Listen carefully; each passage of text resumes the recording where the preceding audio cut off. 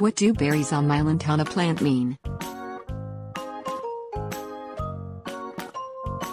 The berries on a lantana lantana spp, black and about one-sixth of an inch across, are the fruits of the plant. Produced after its 1 to 2 inch clusters of flowers are pollinated, each berry contains one seed. Not all lantanas produce berries, as many of the newer hybrids are sterile. Unless you want to harvest seeds from a fruit-bearing plant, remove the spent flowers before they form berries, as those berries can be toxic.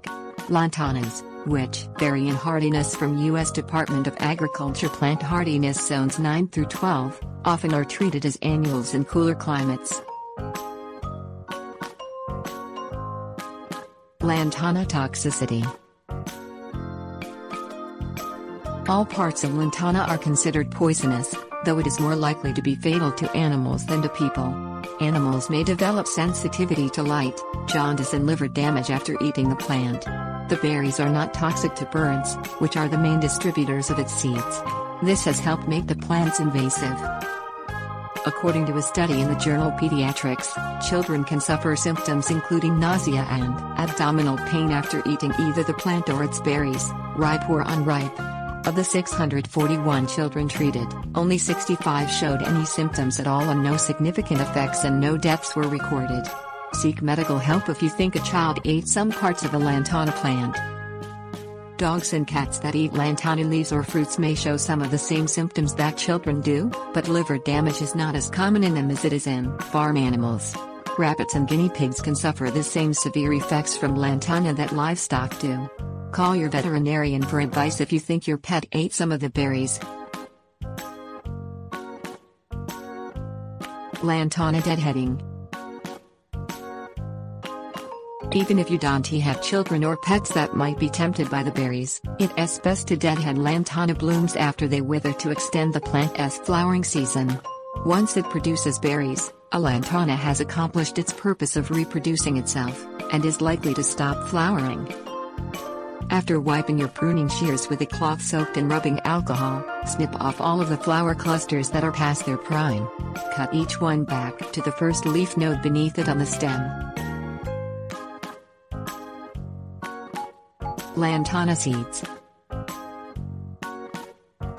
If you want to start lantanas from seed, keep in mind that only the original or species types of the plant such as common lantana lantana camara or trailing lantana lantana montevidensis can be counted on to make seedlings which don't vary in appearance from their parent.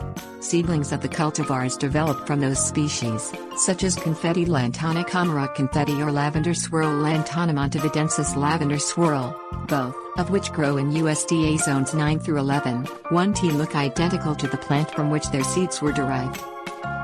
Wear plastic gloves while handling lantana berries to avoid staining your skin. The leaves can also cause a rash in those with sensitive skin, so it's a good idea to wear them anyway. Harvest those berries when they have ripened to black, and rub them against the mesh of a kitchen strainer to remove the pulp from the seeds. If you don't wish to sow those seeds right away, spread them on a paper towel to dry, after which you can store them in a paper envelope. Lantana sowing Because the germination of lantana seeds may be slow, start them indoors in midwinter about 4 months before the last spring frost for your zone, immersing them in warm water for 24 hours before you sow them. Fill a pot to within half inch of its rim with a mixture of 1 part seed sowing mix and 1 part sand. Use a pot that has drainage holes. Space the lantana seeds about 1 inch apart over its surface and cover them with 1 8 inch of the mix. After covering the pot with plastic wrap, place it in a spot where the temperature remains between 68 and 77 degrees Fahrenheit.